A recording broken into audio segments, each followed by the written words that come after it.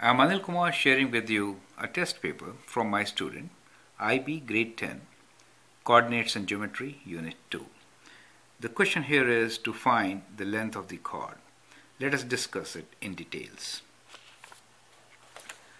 The question is, determine the length of the chord from x-intercept to y-intercept on the circle x square plus y square equals to 49. That's a very interesting way of finding length of a chord, right? So it's kind of an application interesting question. Therefore, I decided to share it with you. Now, let's sketch a circle. So that's kind of a approximate circle. Let us say we'll just make guidelines and connect these points and form a circle. Okay. So that becomes a circle for me. The equation of the circle is given to us as x square plus y square equals to 49 which I can write as 7 square, correct? So that clearly shows that radius of the circle is 7, right? So that means from center all these points will be 7 units away. So that is one way of finding x and y intercepts. We know the x-intercepts and the y-intercepts. The question is determine the length of the chord from x-intercept to y-intercept. From the symmetry, we can select any two points, right? Let us do these two points. Let that be the length of the chord in which we are taking interest.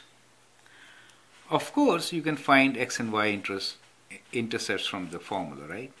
So let's calculate from the formula also. For x-intercept, y equals to 0, right? So that means the equation will be, if I want to find x-intercept, y has to be 0. We get x squared equals to 7 squared, right? And that gives you x equals to, I should write 49, right? 7 square, square root of 7 square. Let me write like that. But whenever you do square root, you have to write plus and minus.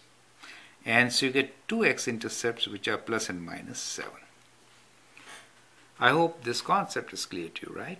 Plus and minus. Whenever you do square root, because minus 7 square is also 49. So you get these two x-intercepts. Now to find y-intercept, we have to put x equals to 0. If I put x equals to 0, let me use this equation this time. Then I get 0 plus y square equals to 49 so I get y square equals to 49 and from here I can say y equals to plus or minus. Whenever you do square root take two plus and minus values correct? Square root of 49 and that is again equals to plus and minus 7 so you get these two y-intercepts now let's determine the length of the chord from x-intercept to y-intercept from the symmetry, you can select any one of them. So as I've shown, we are selecting these two points. Let me call these points as P and Q.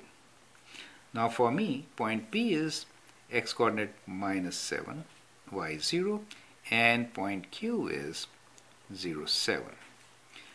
Length PQ will be equal to, we'll use the length formula, which you know is x2 minus x1 whole square plus y2 minus y1 whole square, correct? Square root.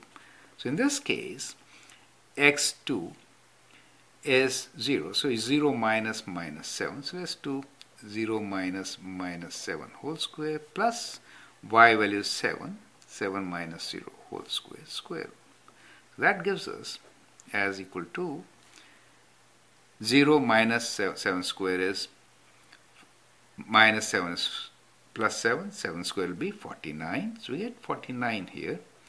Plus 7 square is again 49. So we get 49. So we get 2 times 49 square root, right? So this is 2 times not decimal, right? Okay, let me put them in brackets. 49 is 7 squares. So we can write this as 7 square root 2. So that is the exact value, right? So it is preferred to write the exact value, right? If sometimes they say write to two decimal places, then you can find answer to two or three, whatever the question is saying, right? At present, we can say our answer is that the chord length is 7 square root 2, right? So that is how you can solve such questions. I hope you understand and appreciate. Thank you and all the best.